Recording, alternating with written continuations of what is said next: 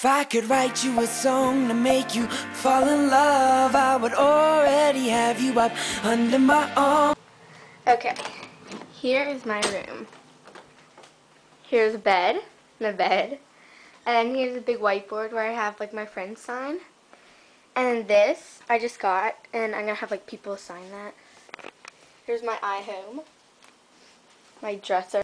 Then here's my straightener and my mirror, and like scrunching gel, uh, body splash, deodorant, a bunch of clips in there.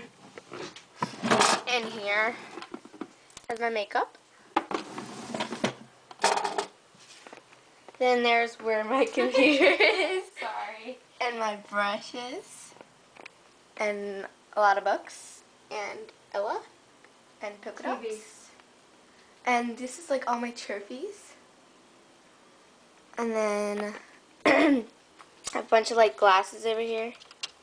And a bunch of nail polish. CDs. And hi. And I have a bunch of jewelry in here and necklaces and all that stuff. And then here have earrings. And here I have bracelets and money. But I'm wearing most of my bracelets. TV. Drawers. Calendar, pictures, closet. Beautiful, not really. Pictures, another whiteboard. And here's like a collage of posters. Collage. Whatever. and here's a picture of me and my friend. And then my mom with our two little puppies. And then me when I was really young. And that's me and my um, first dog. Look how cute I was.